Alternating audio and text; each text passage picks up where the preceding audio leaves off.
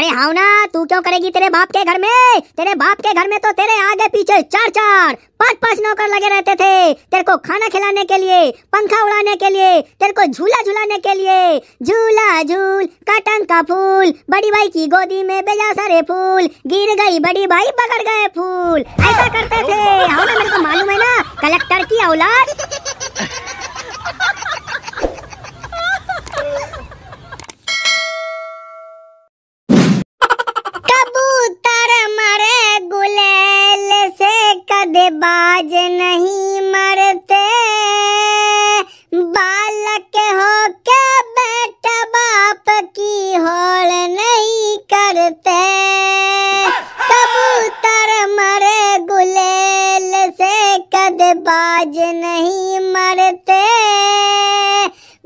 बालक हो के बेटा बाप की होड़ नहीं करते।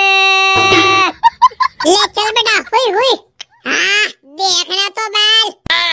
अरे मैं मारू चढ़ के दातारी वो, नन भाई तैला जो मोरी सी दोरी वो।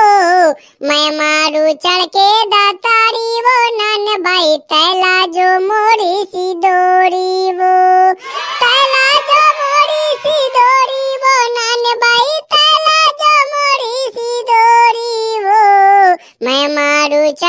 चढ़ तारी वो नन भाई तैला जो मोरी सी दोरी वो। बाई मोरी धाम धुसर खासे गट गट भात बाई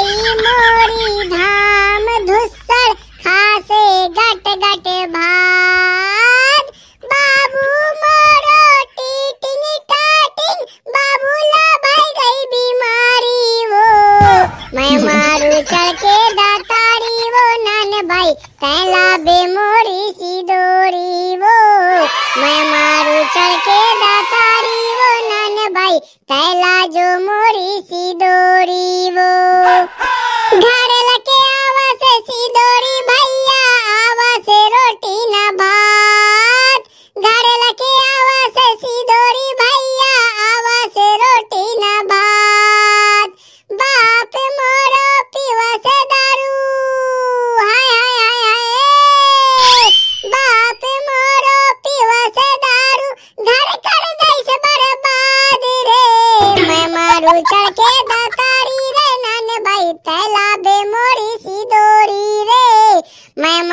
मारू चढ़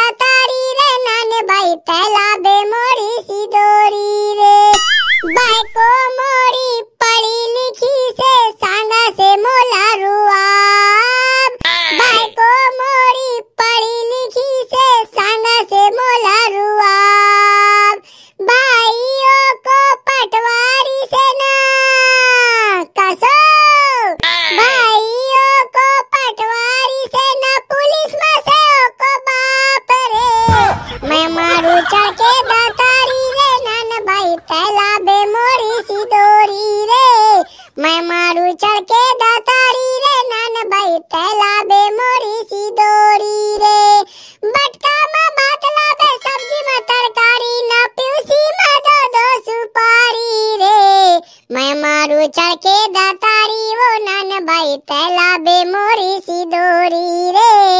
मैं मारू चढ़ दातारी, वो नन भाई तैला बे मोरी सी दोरी रे। तो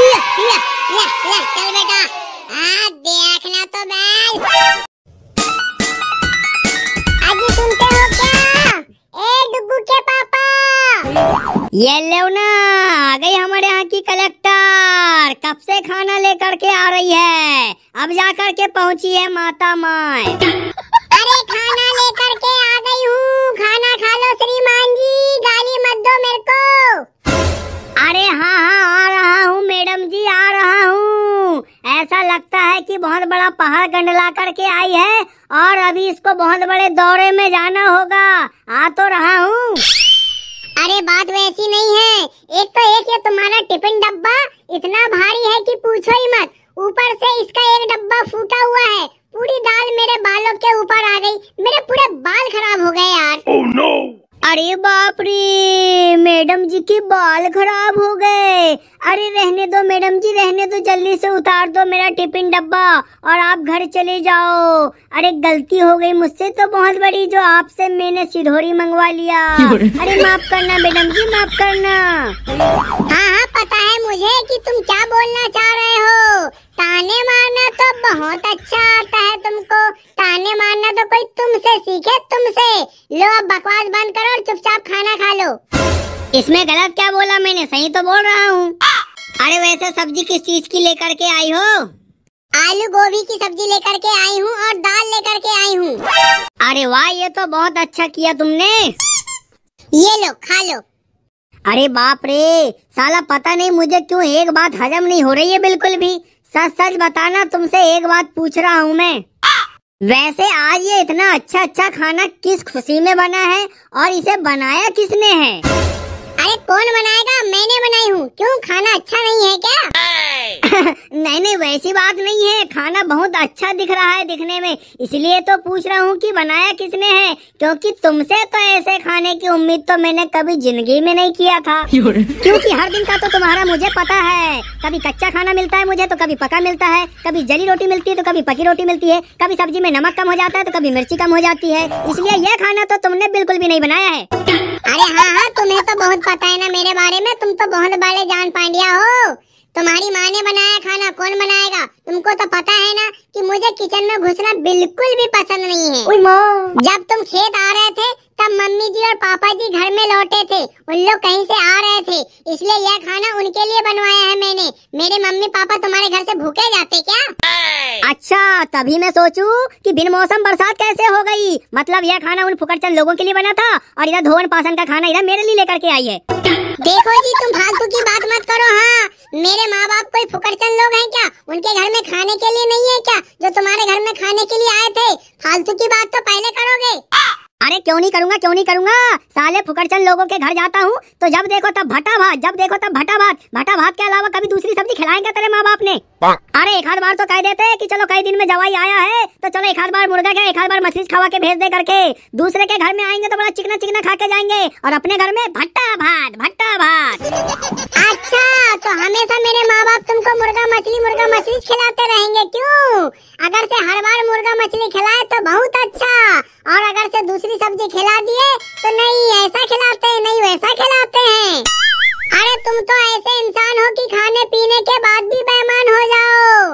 ऐसे इंसान हो तुम। अरे तुम्हारी बहन तरफ़ का दवान भी तो तुम्हारे घर में आता है ना? क्या हर बार मुर्गा मछली खिला के भेजते हो उनको भी? अरे हमारा जवाई समझदार है इसलिए खुद ही समझ जाता है। उसको मालूम है कि बेचारे हमारे ससुराल वाले बड़े गरीब है कह के इसलिए बेचारा समझदारी के साथ रह जाता है। लेकिन तेरा बाप तेरा बाप तो बहुत बड़ा लखपति है ना बहुत बड़ा कलेक्टर है ना। देखो कैसा तेरा भाई बड़ी बड़ी हाँकता है तेरा बाप कैसा बड़ी बड़ी झाड़ता है। जब बड़ी बड़ी झाड़ते हैं तो फिर बड़ा बड़ा खर्चा भी करवाना चाहिए ना जवाई गिन के लिए। अरे क्यों खर्चा करेगा मेरा बाप? उसके खाने पीने वाले नहीं है क्या? क्या पूरी दौलत तुम्हारे पीछे लुटा देगा मेरा बाप? ये बताओ। तुमसे तो बात ही करना बेकार है। तुमको खाना खाना है तो खाओ नहीं तो भाड़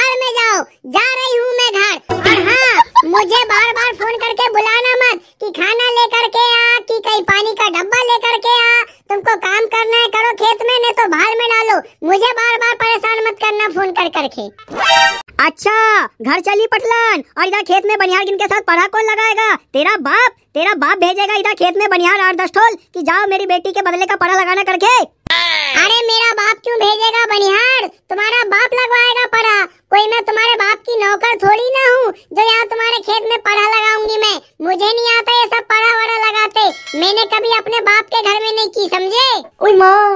अरे हाँ ना, तू क्यों करेगी तेरे बाप के घर में? तेरे बाप के घर में तो तेरे आगे पीछे चार चार पाँच पाँच नौकर लगे रहते थे। तेरे को खाना खिलाने के लिए, पंखा उड़ाने के लिए, तेरे को झूला झुलाने के लिए। झूला झूल कटन का फूल, बड़ी भाई की गोदी में बेजा सारे फूल, गिर गई बड़ी भाई पकड़ गए फूल। ऐसा करते थे। हाँ मेरे को मालूम है ना, कलेक्टर की औलाद। अरे, अब मैं तुम्हारे बाटा नहीं जाती, मैं अब घर जा रही हूँ, बस। मुझे तुमसे बिल्कुल भी बहस नहीं करना है और तुम्हारे मुँह नहीं लगना है। फालतू लोगों के कौन मुँह लगेगा तो क्या मालूम? अब का करबा